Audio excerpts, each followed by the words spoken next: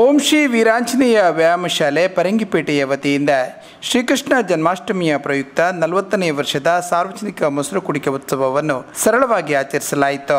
ಸೋಮವಾರ ರಾತ್ರಿ ಗಂಟೆ ಒಂಬತ್ತರಿಂದ ಭಜನೆ, ಹನ್ನೊಂದು ನಲವತ್ತೈದಕ್ಕೆ ಜನ್ಮಾಷ್ಟಮಿ ಪೂಜೆ ಬಳಿಕ ಮಂಗಳವಾರ ಬೆಳಿಗ್ಗೆ ಒಂಬತ್ತು ಗಂಟೆಗೆ ಪಂಚಾಮೃತ ಅಭಿಷೇಕ, ಮಹಾಪೂಜೆ, ನಂತರ ಕ್ಷೇತ್ರದ ಪ್ರಾಂಗಣದಲ್ಲಿ ದೇವರ ಸರಳ ಶೋಭಾಯಾತ್ರೆ ಮಡಿಕೆ ಒಡೆಯುವ ಕಾರ್ಯಕ್ರಮ ನಡೆಯಿತು. Oh, my God.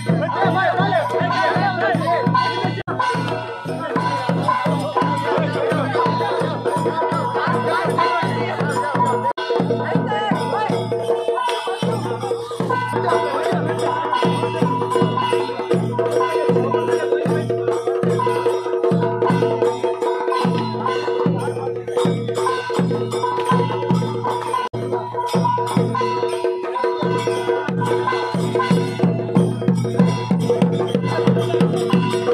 you.